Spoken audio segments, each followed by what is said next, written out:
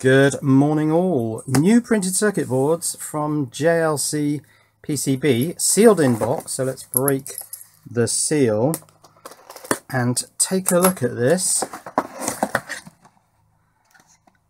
Oh, how ironic. I have the same gift as what I've got already on my desk. Yes, these are nail clippers, in case you were wondering. That's what they are. Right, here are the boards. Now, if you've been watching the last couple of videos on these boards, you'll know that I had them made by JLC PCB's SMT assembly service. In fact, you watched me do the schematic capture, as they call it, the schematic design, and then the PCB layout, and then I ordered them, and it's been about four or five days, I guess, but here they are. So what have we got? We've got um, an LD33 regulator. We've got LED and, and I still don't know the colour of this. So we'll find that out today. And that was a 1K resistor, I believe. We can have a closer look at that in a moment. Capacitors, of course, these aren't marked, but we can see by their varying heights. That's surely the 10 microfarad. Uh, this must be the 100N. And these must be the 10Ns and that's it. That's all that's on there. This is the connector. Oh and I've just received uh, I'll bring that into shot in a moment the 4x2 connector for that. I've got some angled pins for that.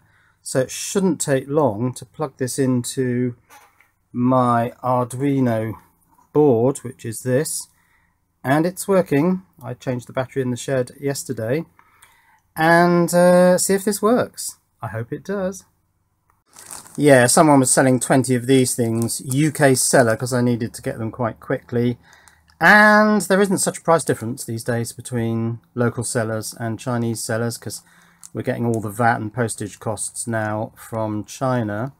So that's good. I can solder that into... Let's take one of these off, actually. Oh, that one.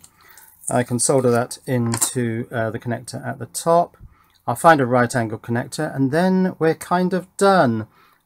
And I still want to see what colour that LED is. Okay, look, I'm going to come clean. I just cheated. I just cheated and I put 5 volts onto the ground and VCC. And it's a blue LED. And actually, that's surprisingly bright. Uh, yes, 5 volts. There's 3.3 on the output.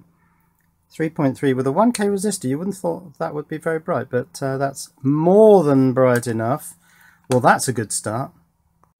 Now, the eagle-eyed amongst you will have noticed something. These boards are green, and I did say in the two design videos, or the second design video, that I was going to order them in black.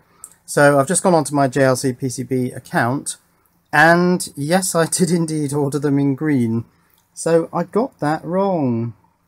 That's a bit of a slip up. I mean, it really doesn't matter at all. It's purely aesthetic. But yeah, I made a mistake there and ordered, I didn't change the uh, colour box at the last minute.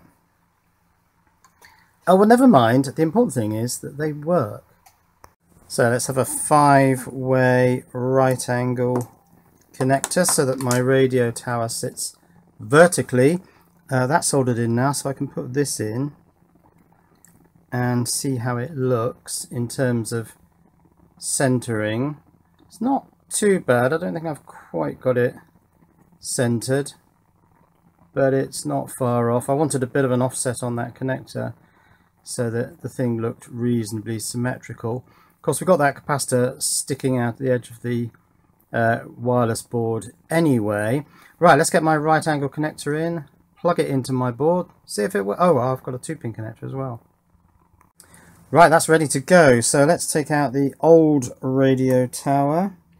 Uh, now I've got to remember that I'm working from D13 to D9, so I'm going to be biased that way with my 5 pin connector.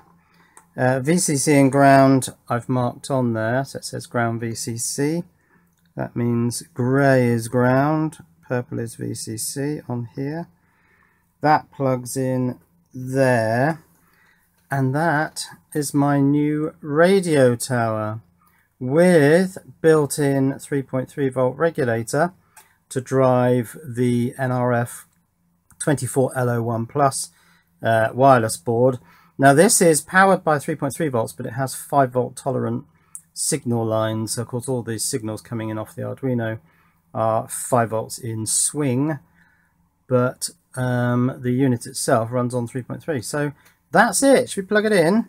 No rehearsal. Let's do it live and see if it works. So if you'd like a $10 PCB plus SMD assembly uh, discount coupon, then go to this page. Link is in the description below. And uh, do join the Facebook JLC PCB Easy EDA page. I've joined it. Here I am on that group. Currently 396 members. Do join that. The uh, link to that is also in the description below. I can see a blue light on there. Hey, away we go. So we're getting telemetry data from the shed. Now, I guess what I could do is make up another one of these and actually put it in the transmitter. Let me go and get the transmitter. I'll bring it in from the shed. Actually, I've just noticed that the Arduino Nano has a red power LED uh, the Nano expansion board has a yellow power LED. Uh, the TTP223 touch sensor has a green power LED. And my radio tower has a blue power LED. The full set.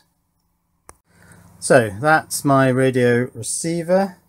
Here is my transmitter. Let's move the receiver out for a moment. There's the transmitter. Now it's in two parts. I've got a big 4 amp hour power tool battery. I've got the USB header that goes with that. That incidentally is fairly warm, which probably explains why this why this thing only runs for four days off that massive battery. Quite a comparison to the little um, uh, Zigbee devices I've been playing with recently, which are designed to run off a 2032 coin cell for, I don't know, a year or something. But anyway, here's my radio tower. Uh, now the only thing is, this one's quite long and the power is quite high up. So I just, actually I might be able to push that down. I'll try pushing that down and getting my new radio tower in there. Right, let's take the power out of this one. Remove the radio tower. Take out its VCC and ground. Uh, VCC is red. Take out, this is all covered in cobwebs because it's been in the shed. Plug it into my new board. Plug that in with D13 in the correct place. And now, as I say, I might be able to slide that down. Pull that through. And now get ground and VCC, which is that way around. Can we see what's going on? That way around onto my power connector that's the little, um, oh, what is it? Uh, yes, it's the SI7021 temperature and humidity sensor, which is I squared C, I believe. The NRF radio, of course, is SPI, which is why it's using D13 down to D9. I think 13, 12, and 11 are the hardware SPI pins.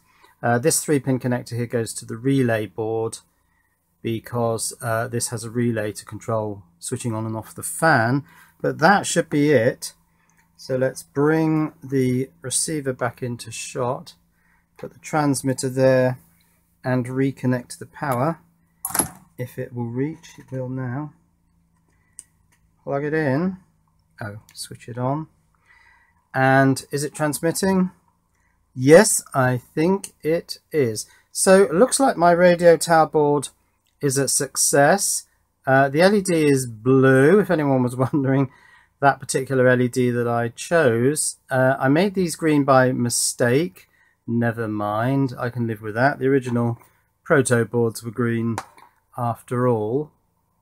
And uh, this video is probably quite short compared to my normal videos because having the components put on for you does make life a lot easier. Now I was going to have a look at that resistor. So let's see if we can do that. Can we see that? It's an, a 01B marking, which I vaguely remember as being 1K. But uh, yeah, that's it. It's pretty straightforward. Hopefully that's the end of my radio tower project. Thank you for sticking with me on this one. Cheerio.